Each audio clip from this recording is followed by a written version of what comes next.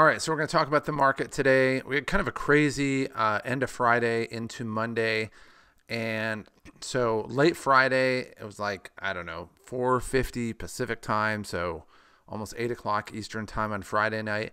Uh, the Moderna vaccine got its approval for emergency use, emergency use authorization, and the futures started going up. And then something crazy happened over the weekend. A new strain of COVID 19 emerged in England, and really, I think it was uh, I don't know if it was in South Africa first. I mean, that's what the first one I read about it, and what it could mean for the pandemic and vaccines. So, I think what people got worried about. Remember, we're going to key. You're going to take the word worry, and we'll just translate it into fear. Um, and for public policy, like for example, I think New York banned. I don't know if it's New York or the whole country banned flights from England. I want to say it was New York. Um, I think England's going through a lockdown, blah, blah, blah. And so the question is, what does it mean for the pandemic? What does it mean for the vaccine? And so one of the things that came out was, let's take a look here. Um, basically, it was uh, came out that it was it was more contagious, but it wasn't more deadly. In other words, it wasn't as it wasn't like it's not one that's going to like if you get it you're more likely to die than if you had the other one. It's just more readily transmissible. And so what they found was that people with that have the new strain of the virus basically they have a lot more virus particles when they do a sample um, or when they're testing. Like it's just very very clear there's just a lot more virus particles. So um, so that being said, that kind of explains if you look at the nationwide trend where we're seeing that the overall number of COVID cases go up. And it's not because there's outdoor dining or indoor dining or, you know, we need more Karens in the world telling people to wear masks. In fact, we're going to talk about the data behind that and we're going to really compare the superstition on mask wearing and, and the public policies with masks um, with the actual what the data says. So this will actually be really, really interesting. Um, so anyway, um, that was one of the things that came out today, and it spooked the market. And so the market immediately went down. I mean, it was basically flat right here, and then immediately went down. It went all the way down for this portfolio. Went down six percent. Let's take a look at the actual um, Dow for the day, and the Dow is actually positive for the day. So the Dow, let's see, thirty thousand. Let's say two call it 33 30,200 got all the way down to 26,000 oh that's in November. We're not going to look at that. That's stupid. All right so let's look for the day. Got all the way down. Uh, dropped about 400 500 points so it wasn't some crazy 2000 point drop but that's basically what spooked people. And then I think people if you look over here this is a graph of people coming to, to their senses so, and with our thing, it was the same thing. It went down about six points today, actually dropped about seven grand, and immediately came back and recouped about five grand of that and then leveled off. And so, um, got, you know, you know, people were getting really scared and they didn't know what to do with it. It was just, you know, kind of the great unknown. And I immediately thought, okay, well, this could be a great buying opportunity. So we're going to talk about uh, that in a little bit. Um, and then we're going to close out looking at, instead of the COVID data, because I think we all kind of know where those are at, or at least for right now, we're going to go over um, a really good breakdown of the um, of kind of the data when it comes to masks and public policy, so and lockdowns. All right, so with that being said, I, I basically one of the things I created, I created a couple new tabs. So we have our holdings, that's the stuff we own. We have a list of candidates. This is kind of our master file to update prices. Uh, upside basically is the same one as candidates, except we sort it by upside percent. In other words, what's the, what was the price on February 20th and what's the price now? And how much do we have to gain back just to get back to where we were before? And I think there's a, a lot of room to get go way past that. Um, and so, you know, we'll look at basically kind of, you know, who are the ones that we can get the most bang for the buck of potentially, all things being equal. And so what I did is I added a new tab or called movement and it basically is just it's it's similar to the candidate one where it's just kind of a master file i'll take yesterday's um, prices at close of day and when i update the ones today i'll put in here it'll show what the difference is and what the percentage changes, positive or negative. Also, and I'm leaving all the upside and cost basis and all the other stuff here. So we have a good sense on what these are. And then I took the next tab and just ranked it by percentage. So we have the greatest loser for the day and we get into the greatest gainers for the day. So I looked at today. And the one that had the biggest drop off was AHT, which is Ashford Hospitality Trust. This one has been just a great, great performer for us today. And it dropped 10% today, basically dropped 40 cents um, from 373 to 337. And I figure this tab's going to be great for you guys. And I was thinking, well, maybe I'll go buy some more. Um, but I went in, looked at the holdings, and we already have five grand in it. So I'm like, all right, we're pretty well capitalized in that. And plus, we're up 32%. So anything that if we buy, our cost basis is 255 um, it's just going to increase our cost basis. So I think we're pretty much set up for that right now. And that's with an upside of 7.6 per, uh, 7.6. So we're going to leave that one alone. Uh, Valaris is an oil company, uh, dropped 9% today. And we look at them, they have a 77 buy rating. But the only problem with them is their upside is only 1.22. I mean, they've gained a lot back. So we're not going to touch that one. Uh, Texas Hospitality dropped 8% today. And so we went from 183 to 168. And we're a little bit below the red line. So it's okay, maybe that's a candidate we're going to buy. Um, and so that being said, uh, I went and looked at Texas Hospitality, and then I remembered I already have a, a, buy in here. So if it drops to 150, we'll buy it. It's still currently at 168. Uh, so we have some downward movement to go before we want to buy that one. Um, Ikagi, obviously, this is the one that would get hit. Them. I'm surprised it didn't get hit worse, to be honest. Uh, this is a European airline conglomerate. So when stuff happens in England, they own British Airways. So you'd think they would have got hit more than they did. Um, and that one dropped seven and a half percent. Still has a four four upside, which is really important. We look at our upside tab, and Ikagi is basically you know right there. It has a 68% buy rating, 4.9 upside. The only problem is we are up 30% on this one. So it's going to raise our cost basis unnecessarily. And then we look at our holdings for Ikagi and we have four grand in it. So we're pretty well capitalized in that. So we're going to pass on that one. Um, then we have a slew of ones that we don't own Sasol, Condor, uh, Exantas, Venom, uh, Century Casinos, and iHeartRadio. Uh, this is at 1.6, 1.9, 1.6, 1.4. So those aren't ones that we want to look at. We look at Condor. We just sold that. XAN, we just sold that. So we're going to leave those alone. Um, then we get down to the ones that are at 5%. PVAC, we already have. I mean, we're way up. We're not going to buy it when we're up this much on it already. Two Harbors, maybe um, 70, 75% buy rating. We don't own it right now. Um, but 2.5 is not really a great number. Service Corporation, that's an entertainment company. It's only 2.1. And we're getting down here to where we're getting a soft change. We're doing the 4% on this type of a thing. So uh, Yuko, we're still up 24%. We're not going to buy any more of that. Uh, the next three are one, one, two. I mean, pretty much everything from here to here is is is really low on the upside, and it isn't until we get to IVR um, which is Invesco Real Estate, that uh, we have a six point. It dropped a little about four percent. It's a six point upside. We're kind of getting down to a point. So I wanted to buy this dip really badly, but just none of the things really lined up the way we wanted to do that. So we're not moving on this. I wish I could. I just can't justify the move on it. But if there's stuff on here that you really see that's a good benefit for you, you know, some of it's just because I own it already. But if you don't own it, a lot uh, there's a lot of really good stocks on here that you could own as well. All right. So with that being said, uh, we are still over 100,000. We're at 101, which is crazy after a crap, you know, a crappy return day for a lot of people. Uh, we're still over two, basically tripling our money. The only thing that changed is Signet Jewelers, which we have right here came back and took over the top spot at 322.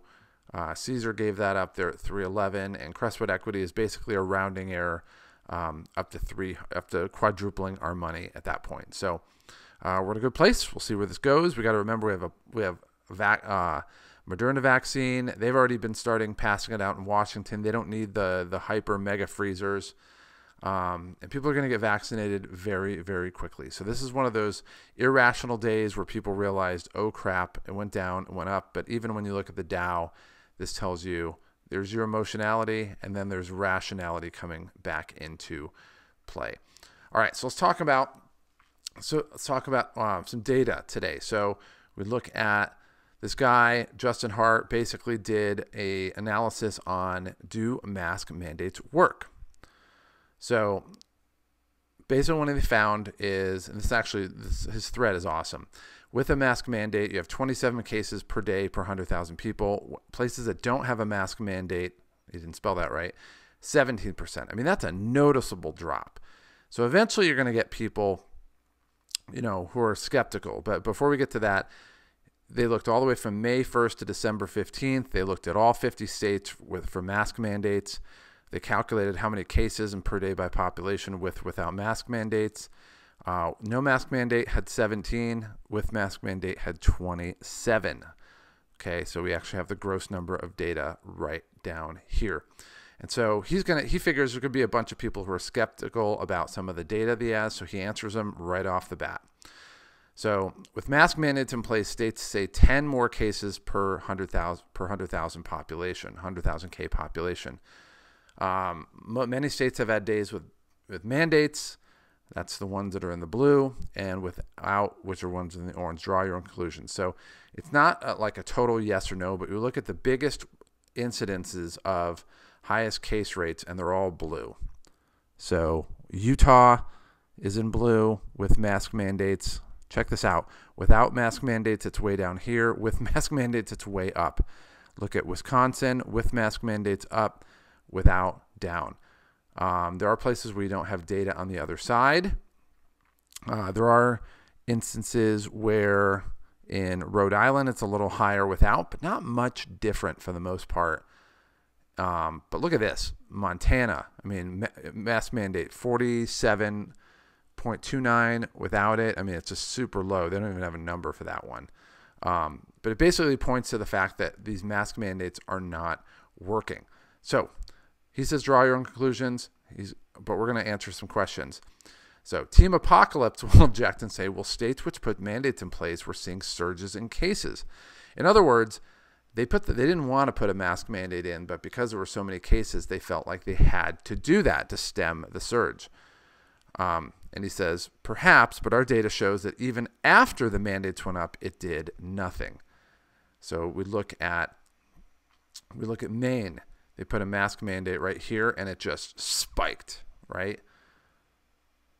Pennsylvania and Delaware, masks uh, required mask mandate here. It went up, went down. Mask required outside home. It didn't really change for a while. It started to go up. Mask required inside homes. I don't know how you do that. And then it just went out of control. Okay. Um, so they looked at different places and California and Florida you look at the fact they did curfews and closed indoor dinings and closed outdoor dinings, and it went up and up and up. But then you look at Florida, which didn't do any of that, and it didn't experience. It actually went from leading California in number of cases to getting summarily lapped by California. All right. So then he says another objection. Well, we can never know for certain how much worse it could have been without masks. And he's, he's right. The first thing that he thought of, I thought of. First, that's not science because that's unfalsifiable nonsense. And what he means by that is part of the scientific method is whatever whatever conclusion you come up with as theory, you have to has to be something that's falsifiable. So you can't say something and then have an excuse why it's not why it has to be true. In other words, you come up with a theory, let's say, you know, whatever the theory is, let's say masks work well, then you should go out and try to prove yourself wrong. I mean, that's the whole point of the scientific method. That's why you have peer-reviewed papers. Is is you say this is what I believe to be true, and then you have a whole bunch of other people, maybe even yourself, trying to prove yourself wrong, right? Um, and he goes, that's not science. It's non, it's unfalsifiable nonsense. Maybe consider the fact that the virus is beyond your control. In other words, stop being so freaking arrogant. Okay see these six states with different mandates. So he, then he shows six states that all have different levels of mandates. So if you have let's say three states here, four states here that don't have mandates, they should have a certain trend. And if you have people that have mandates, they should have a similar trend. But what you find here is without even having to, I mean, the fact is you have to like look at the key and figure out which one is which because they all follow the same trend. Okay.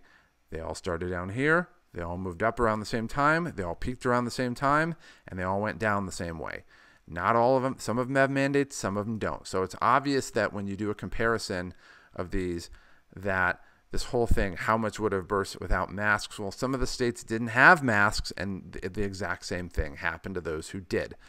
So it's not that masks were worse necessarily in this this data, but just shows there's no. It, they don't. You might as well just pretend like you have a mask on. Just have a placebo, have an air mask, and just say, "Yeah, I'm wearing a mask," but you're not really wearing a mask. All right. So then he says another objection. Well, maybe people aren't really wearing masks. Hmm. So maybe it's like maybe they're just break, you know, they're they're not going along with what you're supposed to be doing, and they're just saying, "Well, I'm just not going to wear a mask." Well, we have you covered here. Here's a tool showing you to drill down on a county level COVID cases mapped to a New York Times survey of how people are wearing masks.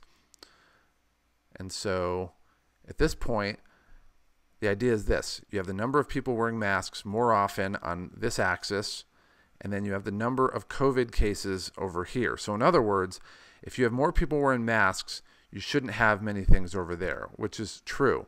But if you have fewer people wearing masks, you should have a ton of things happening here. In other words, the data should go basically, the cluster should go diagonally. And so if you have very few people, if, if wearing masks work, then you shouldn't see anything here, but you should see all the data, you know, where people were a lot, a lot of people wearing masks here. And then when you go down here, you should see nothing here and you should see everything here. But where do we see the biggest cluster? Just without even looking big.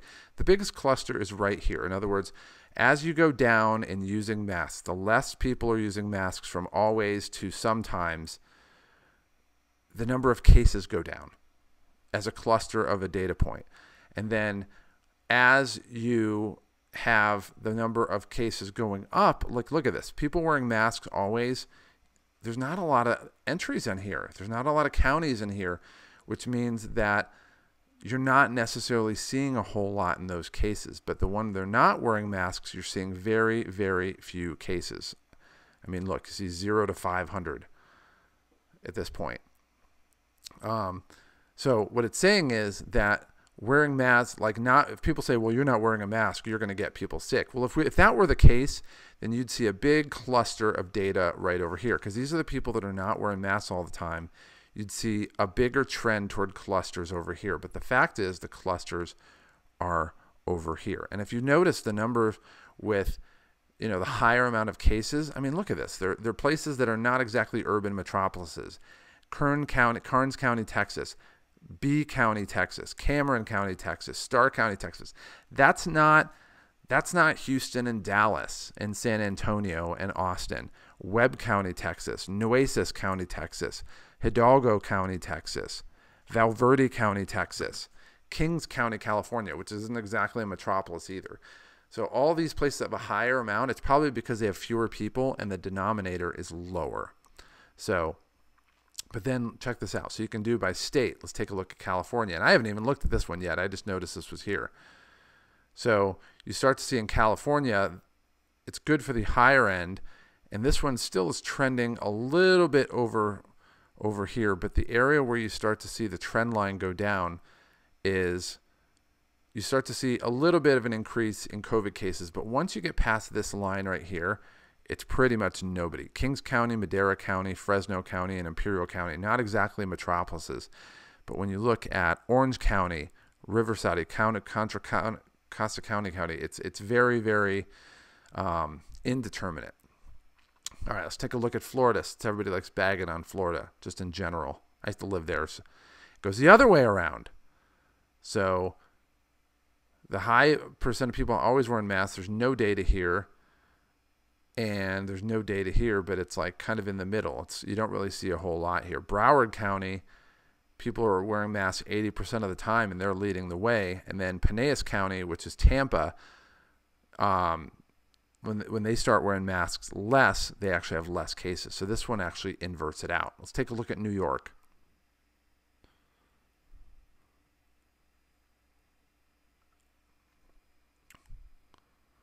In New York, it's the same thing. It doesn't really matter where you wear a mask. They're all in this one vertical here. And then you have New York County, which is New York City, and it's just probably way over here just because it's you know, it's so freaking packed full of people. But outside of that one county where everybody is just, you know, it's an anomaly for the state. It really doesn't whether this is perfect. It really doesn't matter where you wear the mask or not because you're going to get the same amount of cases either way. All right. Then we looked at Florida. These counties in Florida allow mask mandates to expire on by October 23rd. So we looked at all 67 counties in Florida with and without mask mandates to see what happened since. And so basically what happened is in Florida, they don't have a statewide rule. They leave it up to the counties. And so what happens? The counties with a mask mandate have higher amount of COVID cases. And the mask mandate, right when they remove the mask mandate, and that's where kind of you see the beginning of the data here, it actually, the, the spread between the amount of cases with and without a mask mandate gets bigger and bigger and bigger over time. So if you're not having a mandate, there's lower cases, and with a mandate, there is. And part of the reason I think that's the case is like people are touching their masks, like they're doing all that stuff. And it goes back to, I think it was 2005, 2006. The CDC put out a pandemic response playbook. And I read the thing coast, uh, coast to coast, front to co- cover to cover, front to back and it said that they don't want you wearing masks because people touch the masks and they breathe. And if it gets something gets trapped in the mask, that you basically are breathing that in over and over again. And so it's a giant factory for whatever virus or bacteria that you breathe in. And so when you're making people wear a mask, all you're doing is accelerating that process. And when there's no mandate, you're going to get it. I mean, let's let's make a mistake. You, you don't control a virus, um, but basically, you're not getting the same amount of cases. So then we go to another country. We go to Spain. And so for those who speak Spanish, you're going to have an easy time reading this. Spain's serological survey, meaning it's like they're taking blood out of people and checking for antibodies, shows always using masks got infected 25% more than those never using it. 3.8% of the fully accomplishing mask users and 3.9% of the partial were infected versus only 3 of the never using it. In other words, nunca is never. That's 3%. A veces time to time, from time to time, 3.9, and siempre, always 3.8. So noticeable difference. As soon as you put the mask on, your COVID rate goes up. And then look at the number of cases. Never. They have 307 people who got COVID, and they, and they asked them, "Do you ever wear a mask?" Never. Sometimes or always. Only 307 of them said never. The ones 41,550 of them said always. I think that says it all. And these are blood samples. So they know this isn't like a false positive nose swipe, right? This is a blood sample and they have antibodies. This is the absolute smoking gun showing that masks actually not only did not work, but they put you at a higher risk of actually catching COVID. So we look at this one and we look at this one, and these are the absolute smoking guns. Um, and then just this is just we'll close on this one. Um, so another guy jumped in and said, "Hey, do you mind if I I put these in as well?" Because he did some research in Florida as well. So no masks, same results, different people doing the survey. Counties without mandates, six percent never wore masks, seven percent rarely, sometimes, twenty-one percent frequently, and fifty-three percent always.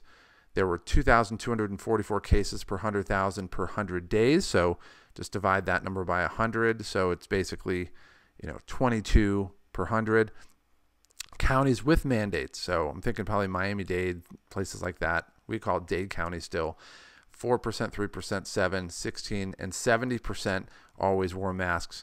And you actually have an increase, 2290 cases per 100,000 per 100 days. So it's not a huge difference, but what it's showing here is masks do not work. And if you notice, this the, where, where they err on the difference, it's always the place with mask mandates always have higher numbers. Sometimes it's a little different number here.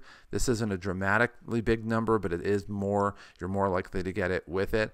Uh, this is a number that shows that it's even higher in the Florida counties.